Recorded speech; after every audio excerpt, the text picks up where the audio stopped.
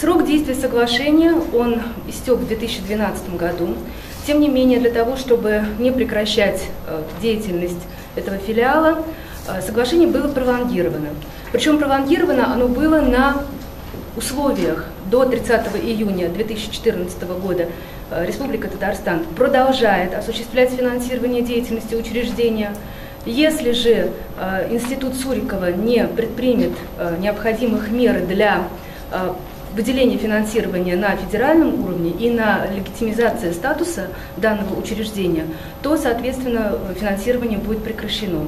Тем не менее, э, сегодня, вот буквально сегодня э, вышло распоряжение Кабинета министров о выделении 2,7 миллионов рублей для завершения э, финансового года в этом году. И сейчас предусматривается выделение финансовых, ну, прорабатывается вопрос выделения финансовых средств на 2015 годы. В чем э, проблема? Дело все в том, что есть определенные требования сегодня, утвержденные в том числе дорожной карты в сфере э, э, образования, а именно высшего образования, по соотношению административно-управленческого и преподавательского состава в учреждениях высшего образования.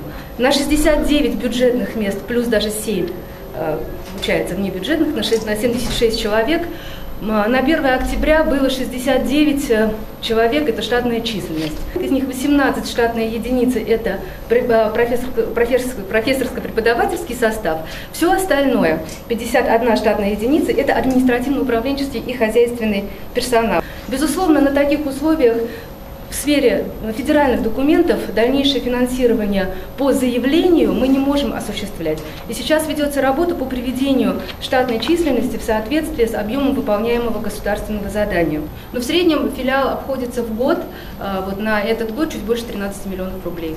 На будущий э, год сейчас э, объемы финансирования просчитываются. Но это не только заработная плата, это содержание, часть, частично возмещение затрат по содержанию имущества, это оплата значит, работы работы натурщиков, это э, за закупка мольбертов, э, закупка расходного материала. Поэтому мы в настоящее время на декабрь планируем встречу с Любавиным, как руководителем Суриковского института, для того, чтобы все-таки обсудить перспективы исполнения э, Суриковским институтом как партнера соглашения тех требований, тех обязательств, такие, которые они на себя в свое время брали.